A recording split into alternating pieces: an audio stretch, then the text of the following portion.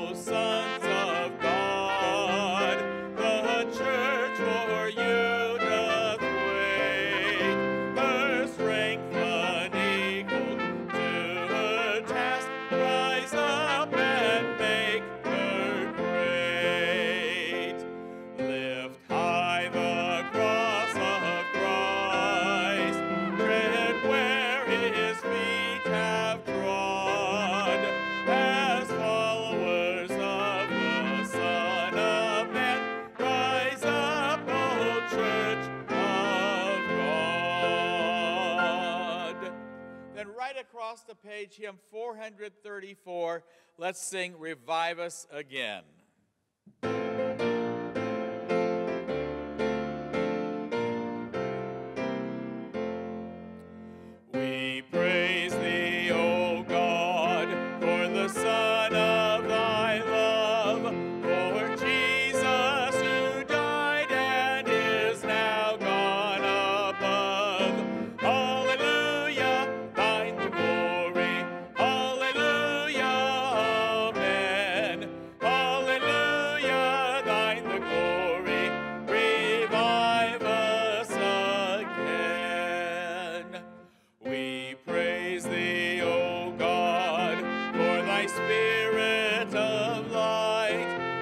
shine.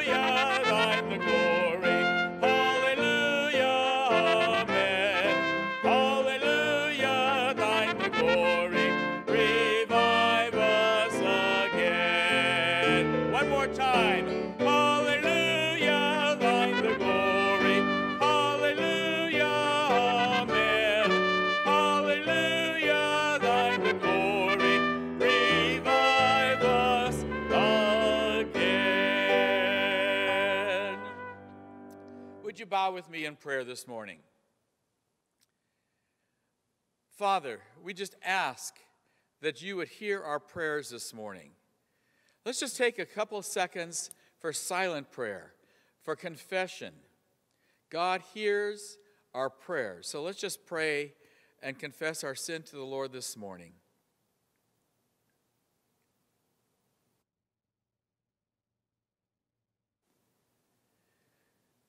Father, we just thank you that you hear, acknowledge, and answer our prayer.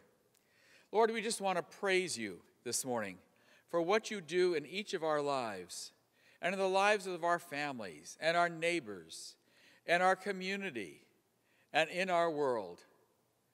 Through this COVID time, it may seem like everything is upside down. But Lord, you are with us. Your presence is right beside us in all that we do.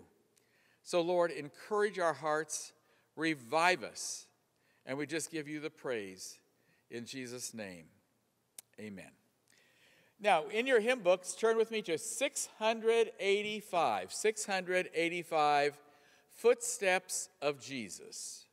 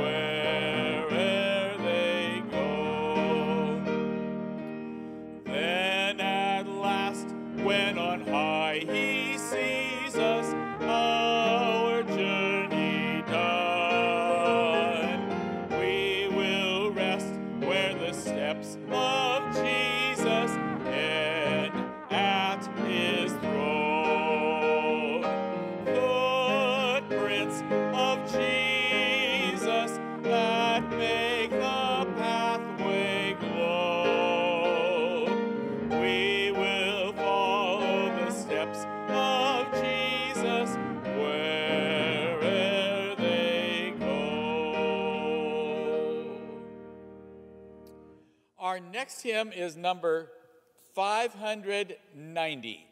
590. I'll live for him. Pastor Rob will be talking about discipleship and following Jesus today, and that's why we have this theme in these songs. 590.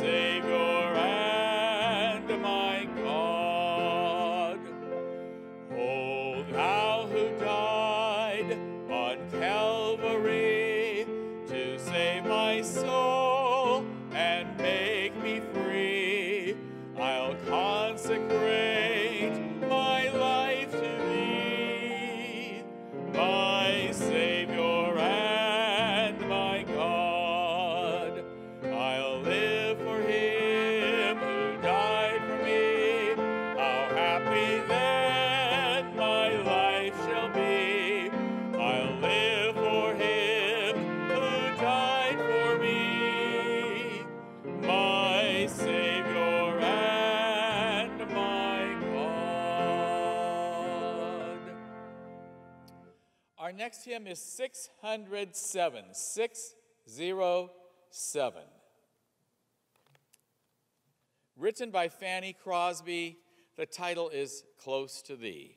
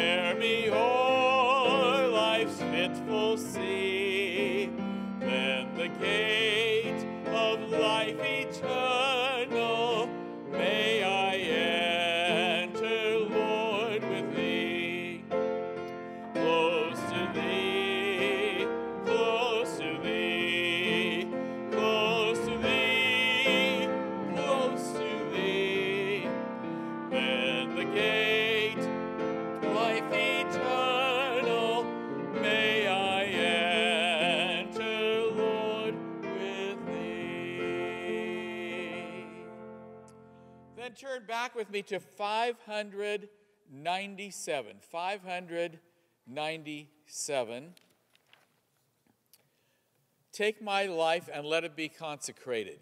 We will sing verses 1, 5, and 6. 597.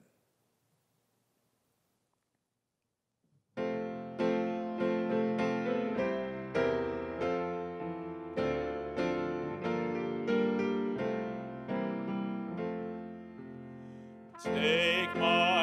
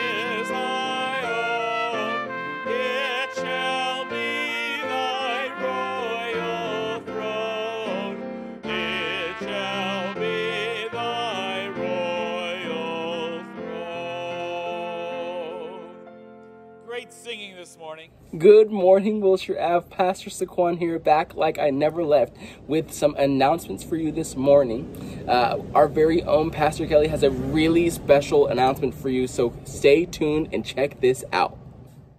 Thanks, Pastor Saquon. Pastor Kelly here, and I'm so excited that today I get to announce that we are going to have a WA Kids worship service. We'll be starting those services on October 4th at the 1030 service. During that time, we'll be able to worship together and we'll be able to learn about Jesus, which we have missed doing with you all. During the service, we will have our weekday kids staff working with the kids, so they've all been trained in COVID protocol and safety precautions. We'll be social distancing and wearing our masks, so that we hope you can join us on October 4th at 10:30. Back to you, Pastor Saquon. Man, I am so excited that our kids here at Wilshire Ave are going to get the opportunity to worship uh, together in community on October 4th. That is so cool, Pastor Kelly. Thank you so much for letting us know and for all the hard work that has gone into making this happen. The last announcement that I wanted to share with you is that we have life groups starting up. And so, man, we would love all of our people to be in a life group. Um, we got to hear last week from some of our, even our own peers here, even our own people in our church about how much they enjoy life groups. So I'm telling you right now, I encourage you, be in a life group, sign up for a life group. Uh, if you're like, I don't know how to get in a group, no problem. Pastor Brian, who heads up all of our life groups, you can get in contact with him um, by sending him an email at brian at wilshireave.com. You can always uh, email the office, office at wilshireave.com. I mean, I'll even help you get in a life group if that's what it takes. Uh, my mom, actually, in San Diego, is joining a life group on Zoom. And so if my mom, all the way from San Diego, can join a life group, I'm telling you, you can too. So, hi, mom, I love you. Shout out. I'm so excited that you're going to be in a life group, and I can't wait to see all of our other people here at Wilshire Ave getting in life groups. Well, Wilshire Ave, as always, we are here for you. We continue to pray for you. And if you have needs, please let us know. Without further ado, let's get into God's Word. Well, hey, good morning again. My name's Rob. I'm one of the pastors here. We're so excited that you've joined us today as we are beginning the sermon series, The New Normal. You see, that's a phrase that many throw around, or man, I can't wait till things get back to normal. But what if normal looked very different? What if we, during this time, actually got a clearer picture of who we are and what our purpose truly is? What if this was something we built together as a community, as we were led by the very Spirit of God? It, my hope and prayer that you would join us in these next seven or eight weeks as we seek God's plan, our ident- as we discover our identity and purpose as a community. So join us. Don't miss a single one. Today we are talking about the purpose of his presence. King David writes this in the Psalms. He says this Psalm, turn with me to Psalm 27, uh, verse 4. It, the Psalms are, are poems, uh, they're songs, they're, um, they're just incredible scripture for us to read. So David writes this in this prayer, in this psalm. He says, One thing I ask from the Lord, this only, this only do I seek, that I may dwell in the house of the Lord all the days of my life, to gaze upon the beauty of the Lord and to seek him in his temple. You see, that, that is the point of this sermon. That's what God calls us. Our purpose is to be in his presence. Everything could go wrong in this world, but if we have the joy of just dwelling in the presence of the Lord, that's the one thing King David seeks. You see, the presence of God, we've talked about it's at the very beginning. You, you see this in Genesis when God walked with Adam and Eve. He called Abraham off to a land and he promised that he would be with him. You see, he promised uh, uh, Noah, when Noah was building the ark, he said, and everyone was ridiculing him and, and persecuting him, God said, I'll be with you. We see it all throughout the Old Testament. Moses says, as he's leading the people out, and he says, God, we can't go without you. We're going to explore Moses a little bit. But you see it in Joshua as Joshua, God calls Joshua to the impossible. God says, I will be with you. Gideon, who just says, I, I come from this, this family and it's not that great, God says, I'll be with you.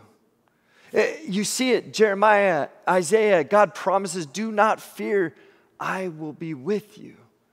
The promise throughout the scriptures.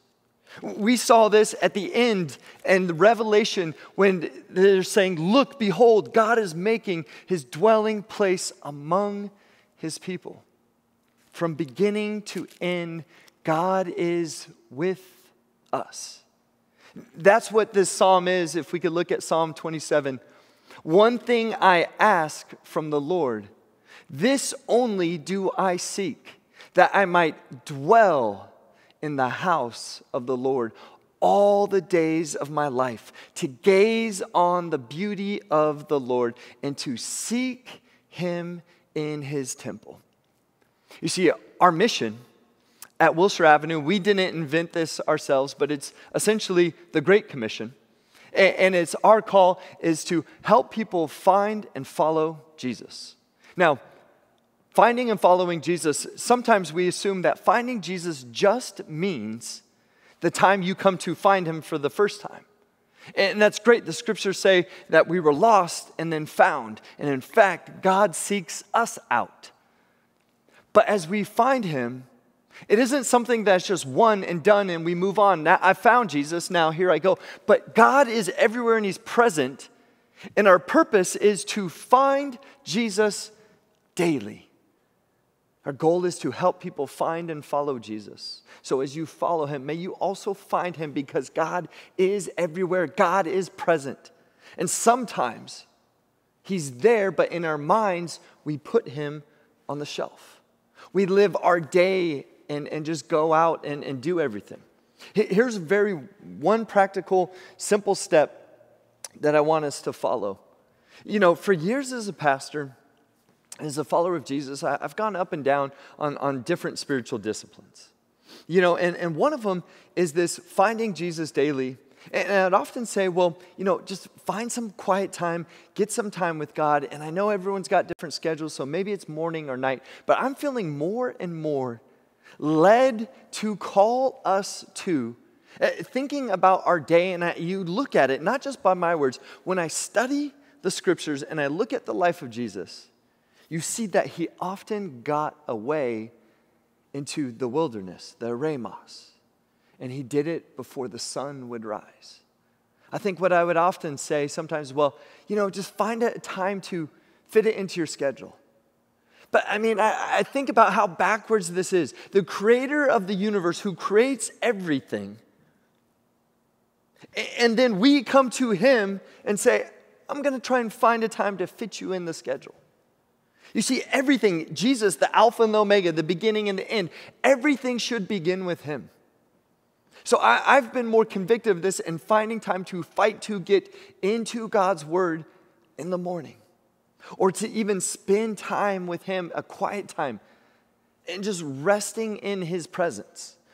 Uh, let me unpack that because I, I, want to unpack that time, but I hope what you would do is build this as a habit into your life. Make it where it's not even a decision. I love how some just put their phones in airplane mode or uh, silence them before they even begin their day so they don't have any interruption. We've talked about putting your phone to bed. Don't wake up your phone before you get in God's Word. Uh, I think about we've got a little baby at home who sleeps. And I often, sometimes so I can have these quiet times or do different things, I, I walk around quietly and I don't want to disturb him. Maybe we do the same thing with our phones. Don't touch your phone. Don't disturb it because once you disturb it, then it starts going off and firing these things. And as, uh, I love how John Mark Comer defines them as little dopamine dispensers. It, you look at it and you get clicks and likes. But the thing is, the dopamine that we get, the hits that we get from these devices, as much as I love technology, what they're doing is they're just short little bursts and they distract us from the greatest joy, from the greatest thing that King David desires is to be in God's presence. I don't know about you, but sometimes I feel as so much information is coming in, a divided mind, and when I don't stop and I don't enter into his presence, the whole rest of my day is affected. When I begin with a divided mind, I find my day ends up being like that. But if I'm seeking the Lord in His presence, I'm spending time with Him, my whole day shifts because it's now overflowing from His presence. And some of you might say, Well, Rob, I'm too busy. I'm too busy. I'm going to say, You're too busy not to do this. If you want to live out your day, get into God's word. Get, have a quiet time. Again, quoting John Mark Comer, I love what he says quiet time has got a bad rap over the seasons because some have made it, have tried to legalize it and, and make it, um, that's not like politics or anything, but they've tried to make it legalistic. There we go. But what we've done in worrying about whether we're legalistic or not, we've lost connection with the holy creator of the universe. He's inviting us to gaze upon his beauty, as the psalmist writes this in Psalm 27. The one thing I ask from the Lord, this only do I seek, that I may dwell in the house of the Lord all the days of my life, and right here, to gaze on the beauty of the Lord and to seek him in his temple. You see, that's part of what quiet times are. Just simply gazing upon the beauty and the goodness of God. God is inviting you and me to gaze upon his goodness. Now, I want to go back to that story of Moses. Because Moses does this in this interaction with God. He's saying, I'm not going without you, God. We can't go without you. And then God says, Okay, I'll, I'll do what you ask. You have asked me for that. And at first, God says, No, you your people, you, uh, the Israelites, you have rebelled, and so I'm not going. And then Moses pleads, and God says, Okay. And then in that conversation, in that back and forth, Moses then demands, Now, God, show me your glory. He says, Show me your glory. I, I want to see you. And look how God responds he says this And the Lord said, I will cause all of my goodness. I want to stop right there. Because Moses says, Show me your glory. And then the Lord's response is that my goodness is going to pass in front of you, and I will proclaim my name, the Lord, in your presence. You see, it goes on to say, You can't even see my face because I'm so holy. But we come to find in Jesus that we get to see Jesus face to face, God face to face, and that's coming. But in this, the glory of God, how is it experienced? It's experienced in His goodness, in, his, in our presence. You see, when we gaze upon the beauty of the Lord, what your quiet time might just look like is gazing upon the beauty, gazing upon the goodness thinking about how good God has been to you. I encourage you. I, do this in, in, my quiet times and just sitting there. And what you know what's so beauty, beautiful about this? It's the furthest thing from legalism. Because you're sitting there in the presence of the Lord and you're just thinking about all of the ways He's been good to you, the ways He's good, His nature, His holiness. And you just think about it. I mean, if you aren't doing this, try it five minutes as you start your day. Gaze upon the beauty, the goodness of God. What I've noticed when I rest and I'm gazing upon the goodness of God, that goodness gets brought into my home more often. That goodness gets brought into my work more often. That goodness gets brought into the community. You see, you've got friends, family, neighbors, they need the goodness of God. And we aren't resting in His presence to even bring that to them. We're waking up scattered, disorganized. We're letting our devices rule us instead of us rule over the devices that we paid money for. And yet they're controlling us, sending advertisements to us, bombarding us. May your life be directed. May you seek the presence of God and fill your life up with His goodness. Dwell on His goodness. Psalm 16 11 says this You make known to me the path of life.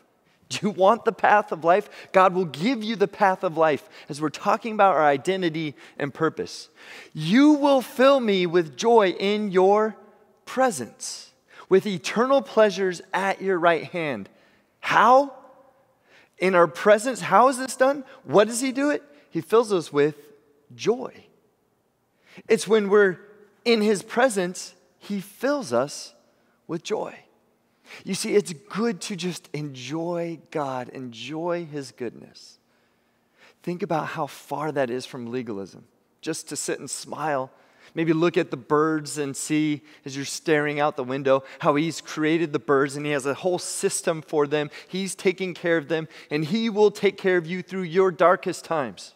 Even though you walk through the valley of the shadow of death, God is good and God is with you when you're reminded of that, your day overflows with His goodness. Does it mean it'll be perfect? No. But I've noticed when that happens, my day is transformed. So, would we, that second point, gaze upon His goodness, to experience His goodness? Now, I want us to shift for a moment as we enter in, we're dwelling in the house of the Lord, we're dwelling in His presence. We're gazing upon his beauty. And also, I want us to look at this third point, and I want us to look at, at, at Elijah. Now, Elijah in the Old Testament, He's the one, if you remember in the story, he's the one that calls down, he tests the other prophets, and he calls down fire from God, and God shows up. So Elijah is one of these guys that he calls this bold thing out, and God shows up in an incredibly powerful way. So, I mean, imagine that. If you're calling down God's fire and calling Him to show up for you when everyone's ridiculing you, what type of confidence you might have. But then, once there's a threat, and not from another king, but a threat that comes, he then cowers and he runs off to a cave in isolation, quarantine. He's depressed, he's down, and he's there. And, and let's look at what First Kings says. You can find this story in First Kings 19. Elijah was afraid and ran for his life. When he came to Beersheba in Judah, he left his servant there. Verse 4 says, While he himself went a day's journey into the wilderness, he came to, to a broom brush, sat down under it, and prayed that he might die. I have had enough, Lord. He said, Take my life. I am no better than my ancestors. He was discouraged, maybe even depressed, and asking the Lord to take his life.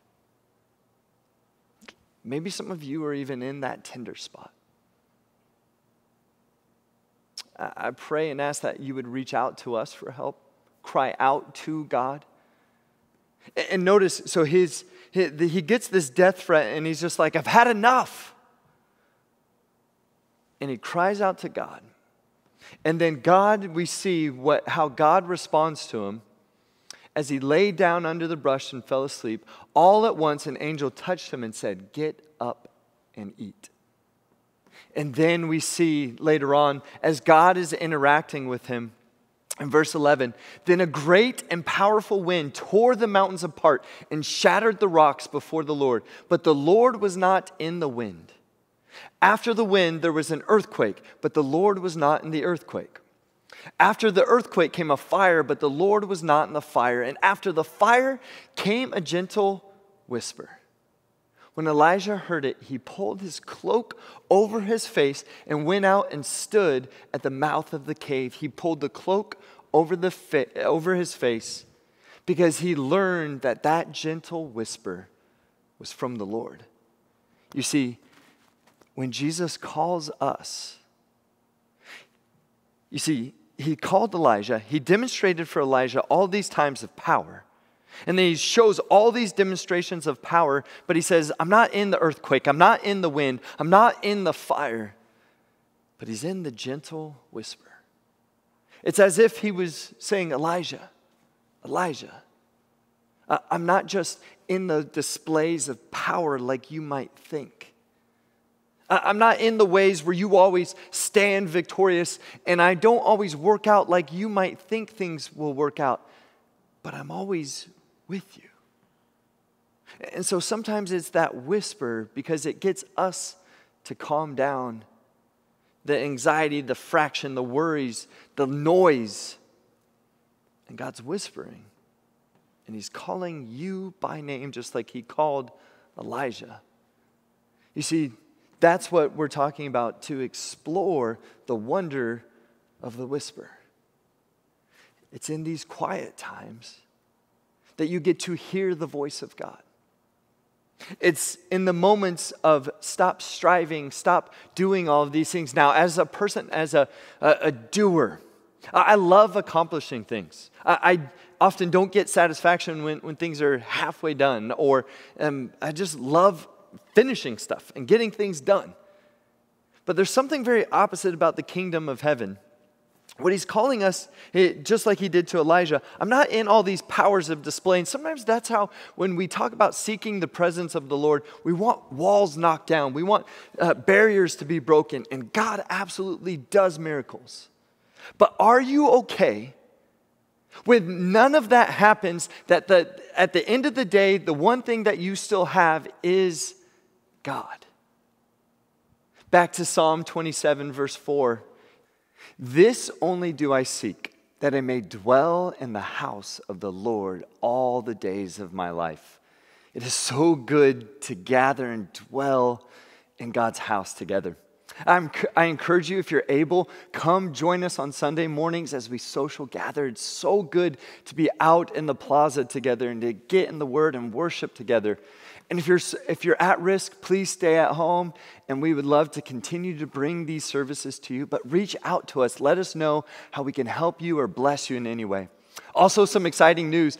This coming Sunday, we will have our children's program back again. They'll be outdoors and uh, say, taking um, social distancing and, and measures to, to help keep your children safe. And, and so join with us. And for our middle school, high school students, I'll have sermon outlines at our Sunday 1030 service where it'll be a family service and even your students can follow along with us. So we're excited for this. And as good as it is, I love a good Sunday gathering.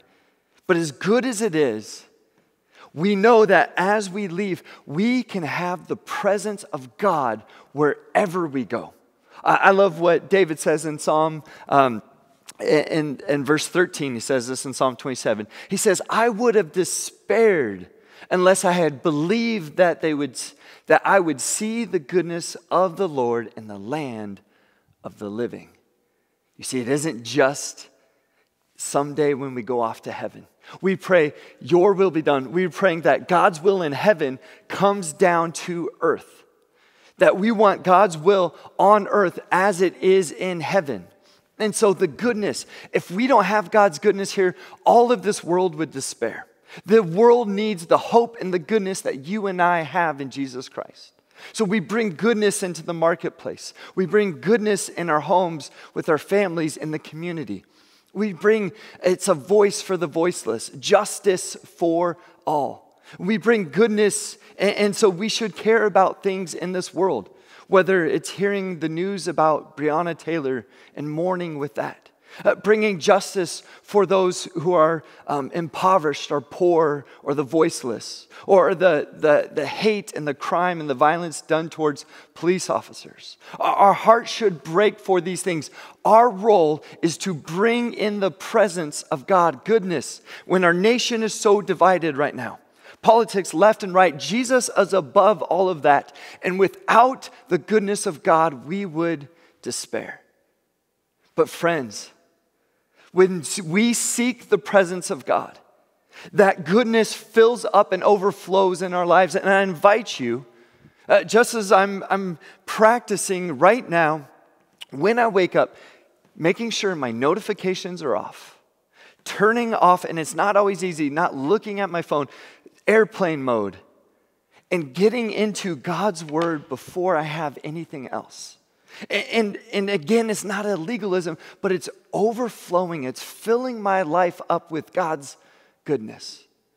Because as I've practiced this, I've noticed the times when I don't do it, it this despair and division. We've talked about here before.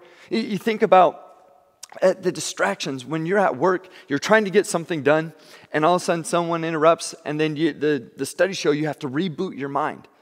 But what we do when we carry around our devices, hundreds of people, advertisements come in our ways, and our lives are fractured.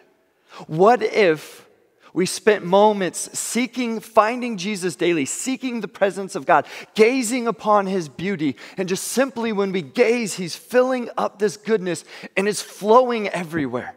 We can't help but want to bring and see how good God is and just bring that to everyone.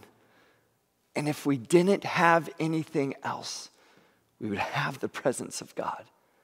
If all of this world would fade away, as David writes, even though I walk through the valley of the shadow of death, I will fear no evil because God is with me.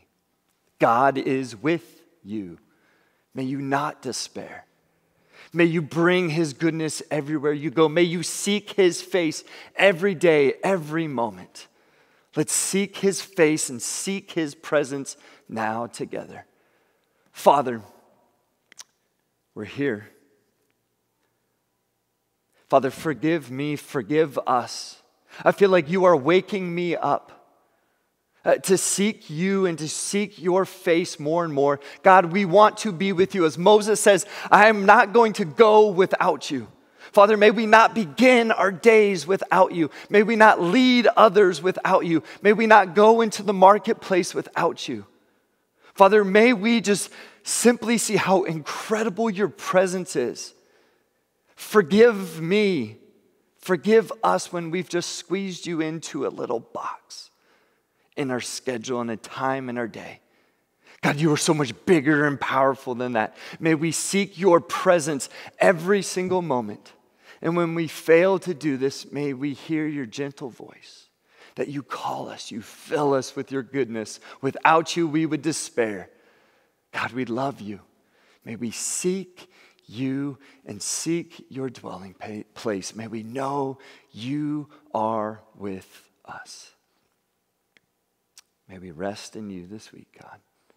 May we know you are here in the land of the living. God, we love you. We praise you. We ask all of these things in the powerful name of Jesus. Amen. Well, church, this, this morning, I hope you seek the presence of God. This week, would you, would you practice that? And, and as we are in the presence of God, we want to worship Him through our tithes and offerings. So, church, thank you for your generosity because the goodness of God has overflowed in your lives and so much of your generosity. As uh, Pastor Brian Maxwell was sharing that uh, in our own area that many food banks have closed down just with the challenges of COVID. Yet, through a lot of His great work and your generosity and the church coming together as one, this is something, a ministry that continues to go. Uh, not only that, are physical feeding, but so many just diff- difficult times, as we talked about, anxiety and depression increasing. And so, so many good things going on. We have programs. So, if you need prayer, you need help, and you're struggling, let us come alongside of you in this season as we seek the new normal, as God calls us and transforms our life.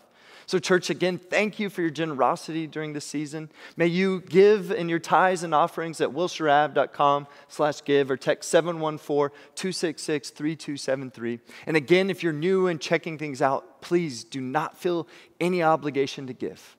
If you have been impacted by this ministry, please give and give generously so more people can find and follow Jesus. Now, church, as I said, October 4th, we're going to have families back. Uh, I'll have even sermon notes for our, our, students that will be in there with us. And children will have children's programs again. And so uh, we're just excited to worship together, to be in God's house together. So I hope you find that a blessing. Now let's enter in and practice this and maybe making this a time. Maybe you didn't get to do this in the beginning, but would you just silence your heart right now? Would you enter into the presence of God? God is always, the scriptures say, God is always present. He is always there. This, this goodness that we get isn't just at the end, but it's now. And so I invite you in as you worship God, as you sing these songs, may you worship Him and enter and feel and experience His presence. So let's worship God. Let's sing to Him now. Well, our next hymn is 663. I'm sorry, 662 with all my heart. 662. I will serve you with all my heart.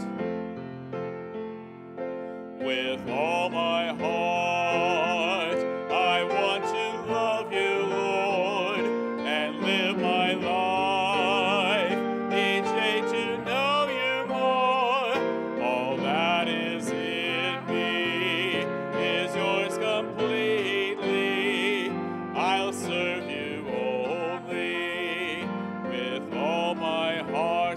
once again.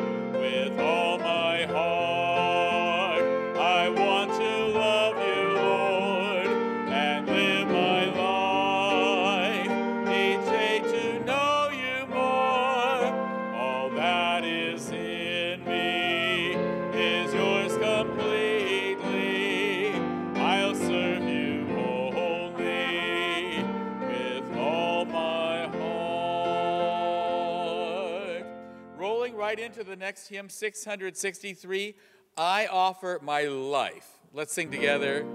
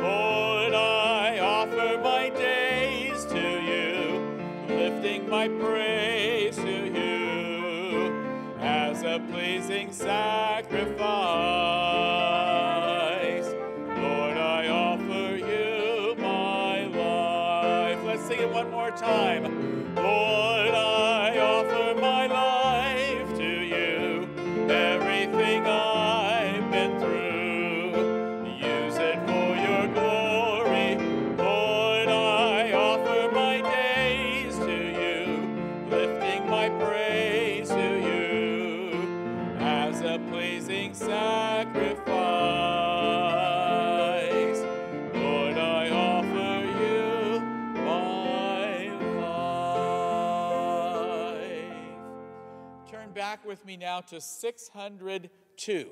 602.